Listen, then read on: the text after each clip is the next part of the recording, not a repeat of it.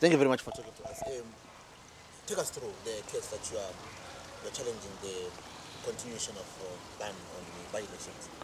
Well, as you know, the Zimbabwean government has suspended the constitution. It has suspended those obligations uh, on it to hold by-elections. Section 158, subsection 3 of our constitution is very clear. It says that by-elections must be held within three months uh, of the occurrence of a, of a vacancy. We've had so many uh, uh, vacancies now as a result of natural attrition, as a result of uh, the unlawful tsunami unleashed by ZANU-PF through uh, Douglas uh, Mwonzora. So we've got over 40 members of parliament vacancies. We've over 50 uh, councillors countrywide, uh, local authority that need to be filled. Uh, ZANU-PF is, is, is, is, is, refusing uh, to conduct those by-elections. So citizens, about seven of them, uh, institutional bodies, uh, WALPE, uh, and the Election Resource Center brought a court application in October uh, last year compelling uh, the Zimbabwe Election Commission and the country's president to proclaim uh, by-elections. This application was heard in the morning today before Justice Musithu. Uh, it was furiously argued.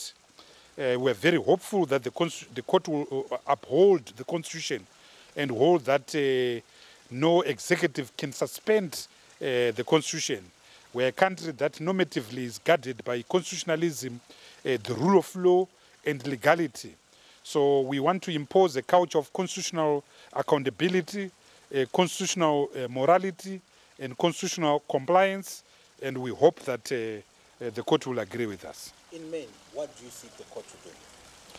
to direct that by-elections must be held within the time provided for in the constitution, uh, which is 90 days from the date of its order.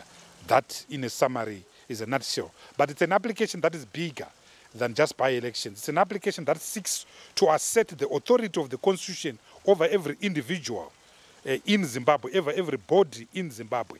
Uh, the constitution in Zimbabwe is under attack uh, left, right, and center. Only last week we were battling in court to remove a chief justice who ought to have stood down at, at, at 70. Today it's another matter.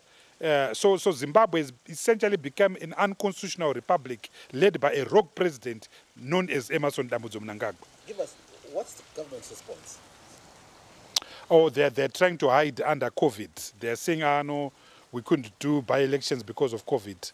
But of course, we demonstrated that, look, they've opened up everything, including schools, bars, restaurants, uh, churches, supermarkets, industries. So there can't be a selective application of, of, of the law. Uh, there can't be a reason, there's no lawful reason why they're just suppressing uh, by elections. In any event, Every other country in the region has held uh, elections. South Africa held local elections last year. They will have further local elections this year. We've had a, a national election in Uganda, a national election in Ghana, an election, a national election in Cote d'Ivoire, a national election in, in Botswana, an election, a national election uh, uh, in, in, in Tanzania. These are all countries within uh, the African continent.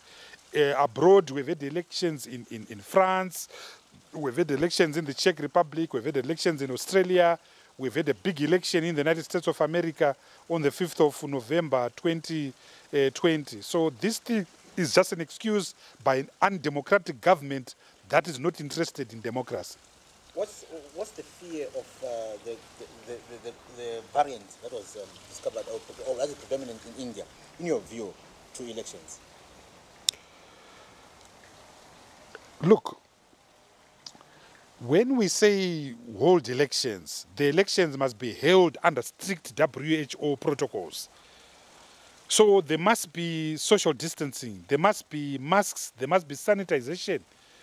And also you could, you could introduce what Americans used, postal voting, mechanism that avoid people going into a polling station.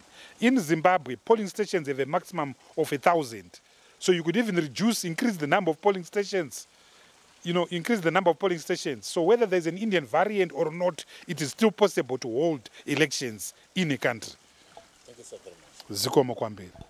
For these and other stories, visit our website www.263chat.com. Follow us on Twitter at 263chat and like our Facebook page 263chat.